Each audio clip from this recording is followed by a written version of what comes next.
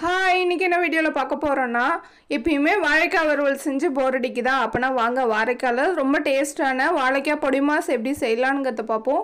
அதுக்கு முன்னாடி இது வரையும் எங்கள் சேனலை சப்ஸ்கிரைப் பண்ணலன்னா சப்ஸ்கிரைப் பண்ணுங்க. மறக்காமல் பக்கத்தில் இருக்க பெல் பட்டனை கிளிக் பண்ணிவிட்டு ஆல்னுங்கிறத கிளிக் பண்ணுங்கள் அப்போ தான் நான் போடுற வீடியோ உடனே உங்களை வந்து சேரும்.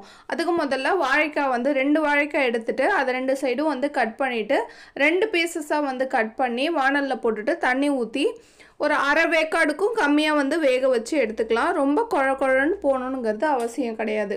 ஒரு சைடு வெந்தோடனே நம்ம கத்தியோ இல்லை கரண்டியோ வச்சு அடுத்த சைடும் வந்து திருப்பி விட்டுக்கலாம். திருப்பி விட்டு நல்லா வந்து வேக வச்சுக்கலாம். இதோட டேஸ்ட் வந்து அட்டகாசமாக இருக்கும். கண்டிப்பாக ட்ரை பண்ணி பாருங்கள் சின்ன பசங்களும் ரொம்ப விரும்பி சாப்பிடுவாங்க. இந்த வாழைக்காய் நல்லா வந்து வெந்துட்டுருக்கு இந்த ஸ்டேஜில் நம்ம வந்து கொஞ்சமாக வந்து உப்பும் சேர்த்து இந்த வாழைக்காய் வந்து வேக வச்சுக்கலாம். நீங்கள் ரெசிபி செய்யும் போது பார்த்தீங்கன்னா உப்பு வந்து பெருசாக சேர்க்கணும். தேவைன்னா வந்து சேர்த்துக்கலாம் இதில் சேர்க்கறதால. இப்போ வாழைக்காய் வந்து நல்லா வெந்துட்டு இதை வந்து தண்ணியை வடிகட்டிட்டு இந்த வாழைக்காய் வந்து ஆற விட்டுக்கலாம். ரொம்ப சூட்டோட கையை வச்சிடாதீங்க. கை வந்து சுட்டுடும். அதெல்லாம் பார்த்து செய்யுங்க. இப்போ வாழைக்காய் வந்து நல்லா வந்து ஆறிட்டு இது தோலை வந்து ரிமூவ் பண்ணிவிட்டு நம்ம சீவிரக்கட்டையால் நைஸாக வந்து சீவி எடுத்துக்க வேண்டியதுதான் நல்லா உதிரி உதிரியாக இருக்கும் நம்ம சீவுறப்ப. ரொம்ப வேக வச்சுட்டோன்னா அது ஒரு மாதிரி குழ குழன்னு ஆகிடும் மாவு மாதிரி இருக்கும். அதால் ஓரளவுக்கு வேக வச்சாலே போதும். இப்போ எப்படி வாங்க எப்படி செய்யலாங்கிறது பார்ப்போம். பொடி மாசு அதுக்கு முதல்ல வானல் போட்டுட்டு ஒரு ஸ்பூன் அளவுக்கு எண்ணெய் ஊற்றினா போதும். போ ஊற்றிட்டு ஒரு அரை ஸ்பூன் அளவுக்கு கடுகு கருவேப்பிலை சேர்த்து பொரிஞ்சோடனே சின்ன வெங்காயம் வந்து கொஞ்சமாக வந்து அரிஞ்சு சேர்த்துக்கலாம். சேர்த்துட்டு கலர் சேஞ்ச் ஆகணுங்கிறது அவசியம் கிடையாது. லைட்டாக வந்து வதக்கினா போதும்.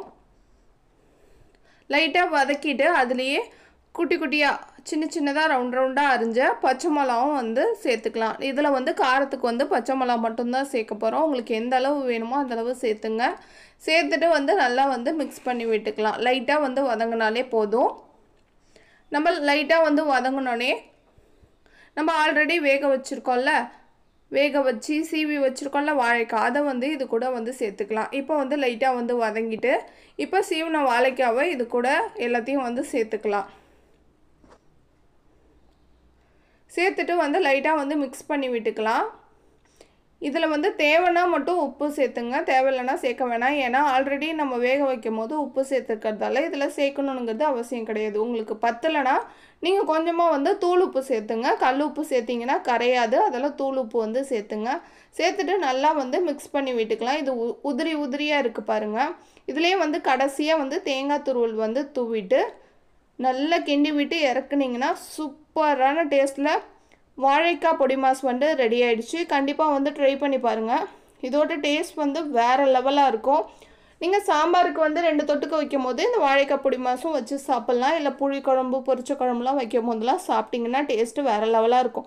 கண்டிப்பாக ட்ரை பண்ணி பார்த்துட்டு எப்படி இருந்துச்சுன்னு கமெண்ட் பாக்ஸில் கமெண்ட் பண்ணுங்கள் தேங்க்யூ பை ஃப்ரெண்ட்ஸ்